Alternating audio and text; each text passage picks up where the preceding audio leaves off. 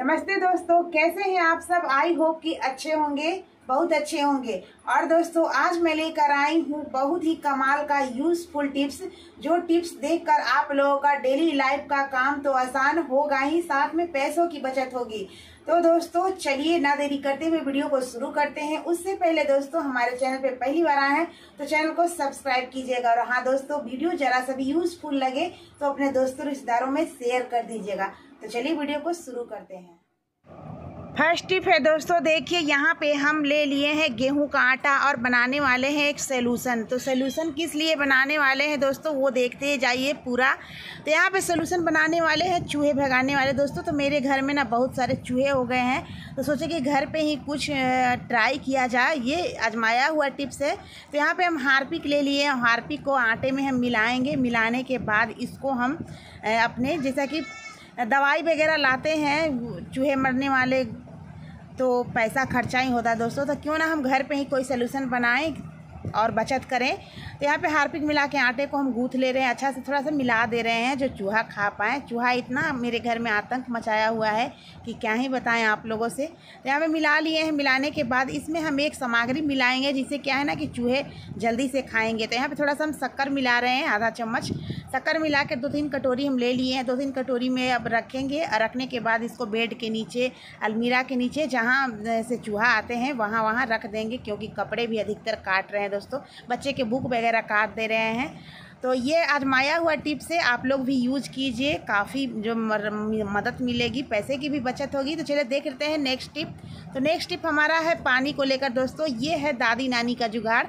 तो क्या ना कभी कभार गले में हमारा जो दर्द हो जाता है हो ही जाता है। तो इस तरीके से पानी को काट कर पीजिएगा, माना जाता है दादी नानी कहती थी कि इस तरीके से पानी को काट के पीने से काफ़ी राहत मिलती है और तीन दिन लगातार पीजिए खाली पेट।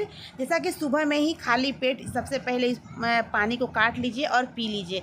तो दोस्तों, देखिएगा कि मेडिसिन खाने की ज़रूरत नहीं पड़ेगी, काफ़ी राहत मिलेगी। तो दोस्तों, ये बहुत ही यूज़फुल टिप्स है आप लोग ज़रूर यूज़ कीजिएगा। तो देख लेते हैं चले नेक्स्ट टिप तो नेक्स्ट टिप हमारा है प्याज को लेकर। प्याज तो हमें सुबह शाम खाना बनाने के लिए काटना ही पड़ता है दोस्तों। तो आज हम अलग तरीके से प्याज का यूज़ करेंगे। तो इसे हम यूज़ करने वाले हैं कान के दर्द में दोस्तों। हाँ दोस्तों, सही सुना आप लोगों ने।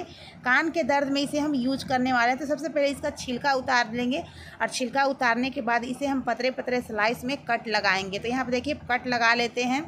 तो हमें एक स्लाइस का ही ज़रूरत है, ज़्यादा का ज़रूरत नहीं है तो एक स्लाइस हम कट लगा लिए हैं। तो चलिए गैस स्टोव की तरफ़ चलते हैं।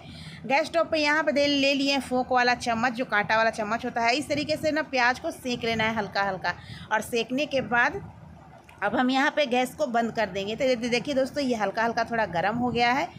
तो इसे हम सेकने वाले हैं इस प्याज के स्लाइस से अपने कान को। हाँ दोस्तों, कान में जब दर्द होता है ना, इस टिप्स को फॉलो कीजिएगा तो काफ़ी राहत मिलेगी। ये भी हमारी दादी नानी का ही जुगाड़ है, क्योंकि पहले की ना दादियाँ और नानियाँ बहुत कुछ जानती थी जुगाड़। तो आई होप कि दोस्तों टिप्स पसंद आया हो। पसंद आया हो तो चलिए देख लेते हैं नेक्स्ट टिप तो नेक्स्ट टिप हमारा है इस तरीके का तेल का बॉटल को लेकर तो इसे भी हम एक सोल्यूशन बनाने वाले हैं, जो क्या है ना कि हम टॉयलेट में यूज़ करने वाले हैं। तो, तो इस सोल्यूशन को हम बना के यूज़ करने वाले हैं टॉयलेट में दोस्तों। तो टॉयलेट हमारा क्या है ना कि जल्दी जल्दी बार बार गंदा हो जाता है। बार बार हमें साफ़ करना पड़ता है और क्या है कि बैड स्मेल बहुत आता है। तो इस तरीके से सोल्यूशन बनाकर तैयार कीजिए। सबसे पहले इसमें हम डाले हैं मीठा सोडा। खाने वाला जो सोडा होता है वो और उसके बाद हारपिक उसके बाद थोड़ा सा नींबू का रस उसके बाद हम डाल दिए हैं पानी। और पानी डालने के बाद इसे इस तरीके से मिला लीजिए। तो लीजिए मेरा सोल्यूशन बनकर तैयार हो गया। तो चलिए अब चलते हैं बाथरूम की तरफ़। तो बाथरूम के तरफ़ जाने के बाद देखिए दोस्तों, यहाँ पे क्या है कि किन्हीं किन्हीं के यहाँ इंग्लिश टॉयलेट होता है तो मेरे यहाँ तो यही टॉयलेट टॉयलेट है इंग्लिश टॉयलेट नहीं है। इंग्लिश टॉयलेट है तो उसके फ्रेशर टैंक में जो है, इसे डाल दीजिए इसके ढक्कन में छेद करके, है ना?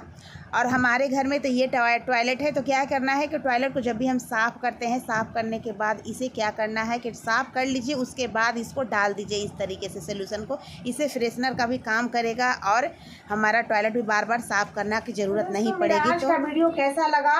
ज़रा सब यूज़फुल लगा हो कमाल का टिप्स लगा हो तो लाइक कीजिएगा। लाइक करने के साथ दोस्तों न्यू है तो सब्सक्राइब करके सपोर्ट कीजिएगा। ताकि मैं इसी तरीके से आपके लिए न्यू न्यू टिप्स और न्यू न्यू हैक वाला वीडियो आप लोगों के बीच लाती रही। हूँ और प्लीज़ आप लोग सपोर्ट करते रहिए। तो दोस्तों, मिलते हैं नेक्स्ट वीडियो में। तब तक के लिए बाय